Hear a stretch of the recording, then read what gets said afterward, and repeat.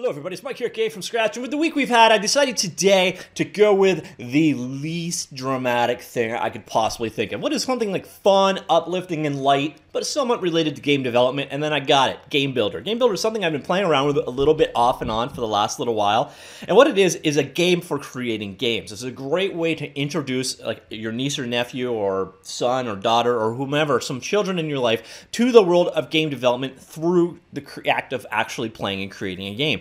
But there's a surprising amount of power packed away underneath this guy, and perhaps most impressively, it is completely free. And the intention is right now it's early access on Steam, but the developers insist that they intend to keep it free forever. So uh, let's jump take, straight in, take a look at Game Builder, and yeah. So first off, we're going to show you the basics of working in Game Builder. This is a very, very simple application. It's got a nice, big, chunky user interface. So if the person using it is a little bit younger, or if you're broadcasting it to like a large screen TV, the interface is very much usable. Um, you've also got full Steam Workshop integration. Now, I don't know that this one is one that you're going to be using to create games. I don't think there's a publish option other than to send your games out to Steam Workshop to share with other people. So without further ado, let's get started. So we're going to go ahead and start. Um, here you've got your option. You can either create a game or pull something in from the workshop. I'm going to do create a new game and play. And then you've got a choice between single, private multiplayer, and uh, public multiplayer. I'm going to go with single for two reasons. First off, multiplayer is new and buggy, and second is I have no friends. So we'll go with single player here, load it up, and here you are in the game world. They've got some instructions there. Who needs instructions? Basically, you're this giant little or this giant little robot. Okay, that makes sense. This little robot that runs around in the game world, and you populate it. And that's kind of how the things work. So here we are in our level, and I'm gonna hit space, uh, sorry, hit, hit the tab key, and we're in, um, you know, object creation mode, I guess you could say. You can toggle, if you'll notice up here at the top left corner, using F7, you can toggle between playing and pausing. You can also reset the state of your world that's, you know, it will just go back to the constructed form. None of the behaviors will have applied.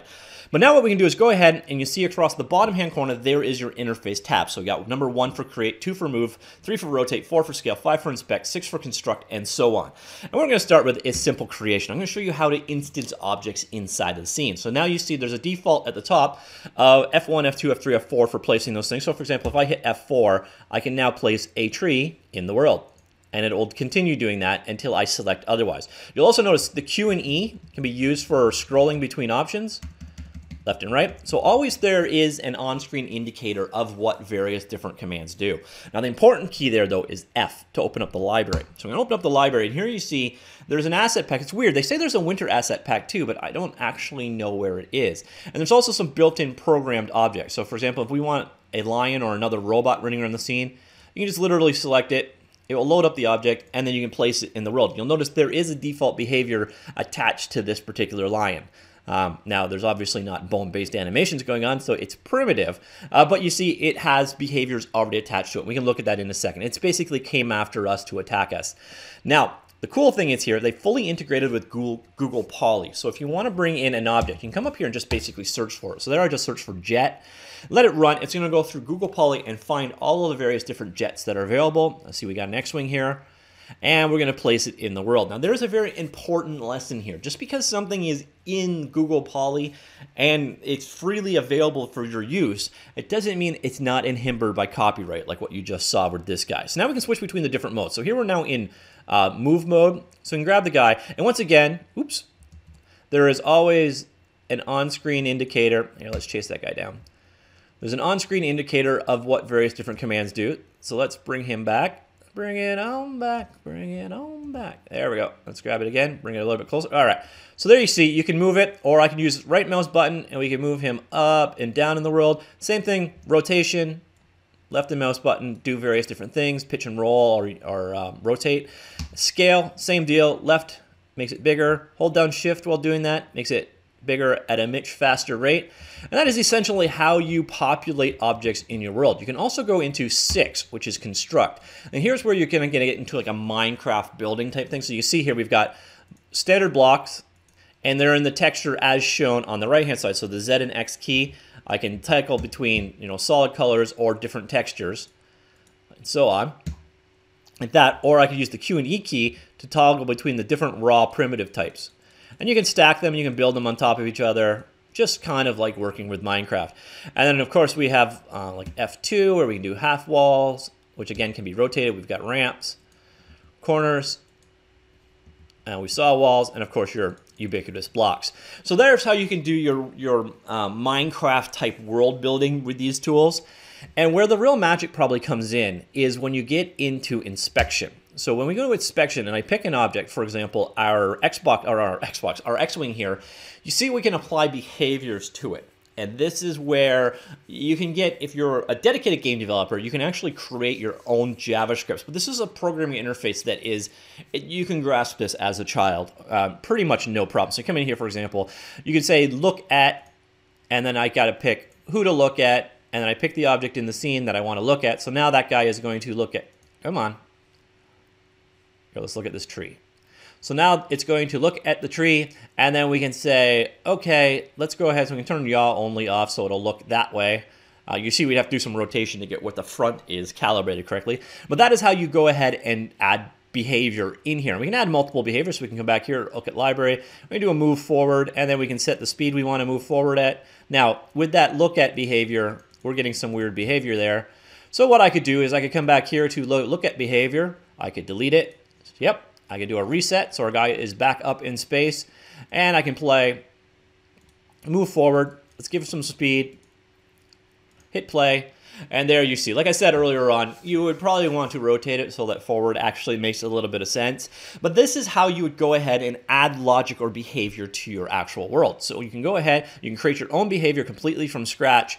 Um, and then what you can do is you can come over here, even with the built-in behavior. So all of these various different things like this physics, trampoline, um, we got spawners, uh, we have um, damage giving, ability giving, player controls we could apply to it. So we could have various different settings for how fast to sprint or jump and so on.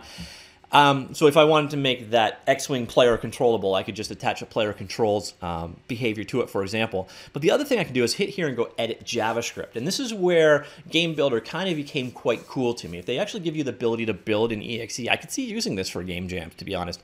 And you'll see here, it is straight up JavaScript code. So we could, this is the actual um, controller for speed, sprint, and jumping. I think it's see the code that is handled behind it. And it's it literally is straight JavaScript. It uses the Three.js library for some of it. But if you want to have some detail, oh, and the cool thing here is in this little editor, we've also got full text completion, which is is quite sweet. Uh, they've obviously embedded some kind of an editor in here.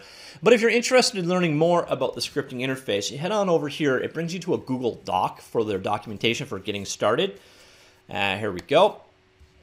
And so they got a bit of a walkthrough of how you actually go ahead and program your game builder game. And then this guy is another useful document that opens up elsewhere. So you can come in here and get their, their game builder specific API.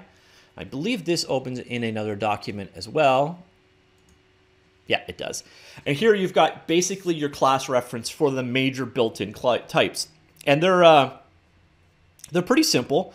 Uh, they've got things here for sending messages, for uh, being alive, for um, and and basically you've just got the current like your actor that you're controlling, so like the player.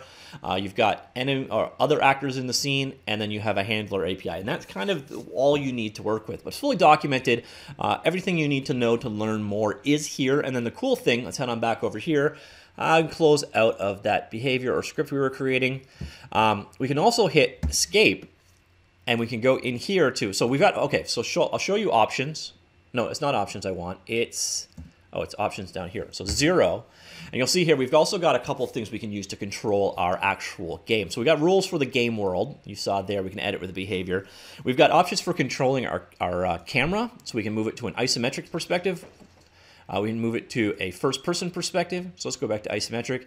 And we can control the zoom level on said camera. We can also control 90 degree rotation values. So here we are isometric, but following our person. Um, then you get some visual effects options they have here. So if I wanted to switch this to a black and white render, you can, and you can stack these. So uh, by the way, their view of what how bad VHS was is a little bit off, but we could do here a black and white drawing, and you can get some really cool visual effects going on your particular scene. Turn black and white back off. Um, so those are some of the options you've got here. You've also got fake black and white film values. You've got pixelation options up here. And then we've got some settings for the world, such as the world box. So we can change the skybox of our world. Uh, you can change the ground of our world. And yeah, and then finally, I'm going to go ahead back over here. This is when you hit the escape key. Obviously, you can name your scene, um, save it out. But what I'm going to show you now, uh, I don't think Game Library is anything exciting. Yeah, it's just back to this launch screen. But Steam Workshop is where people can go ahead and share their efforts. And there's some really cool stuff in here that shows you how how to actually work with it. So for example, this is one I looked at earlier, and we're going to go ahead and play it, and we're going to play it in single player. And this one literally just shows you how you can go ahead and create an elevator in, in this game world. So we're going to come in here, and you'll see we've noticed we've got a um, call button, which will summon up the elevator. So then we can pick, and I just ran into either four or five. So now we're going up to the fourth or fifth floor. I guess four. So if I came back here, I could hit five, and we're going to go up to the next floor, and then I'm going to do a kamikaze. And then we can come back here and call our elevator back down. So there are all kinds of levels built in that give that show you how to uh, do this kind of stuff. And then the cool thing is I can hit tab. I don't know why I just flew up in the world, but I can hit tab and then we can go ahead and say do an inspect that call button, and then I can see here is the behavior controlling that call button. And if I go ahead and click here, you will see that is the underlying JavaScript that controlled that particular thing. And we can get that again and again. Everything in this world uh, we can interact with. So I, I think the elevator has behaviors attached to it elevator floor. So you see there's some properties set for it. And we can drill down and see the actual code that is controlling that elevator. So again, this is super simple. It's fun stuff. Uh, you know, you're not going to create your next great game in it. You could maybe prototype in it, I guess. Uh, but it's all about, you know, learning to program in a kind of fun environment. And truth be told, I, I, just kind of found myself playing around with it, especially with the poly integration. I was making uh, little cities and adding behavior to the cities and having things roam around the cities kind of just intuitively. And it was actually kind of amusing. And then the, the one step further again is since you've got that full JavaScript integration, if, if you say had a small child you wanted to introduce to this, well, you could create behaviors for them and then have, um, you know, they can make more and more complex world. And it's a good way of introducing someone slowly to the world of game programming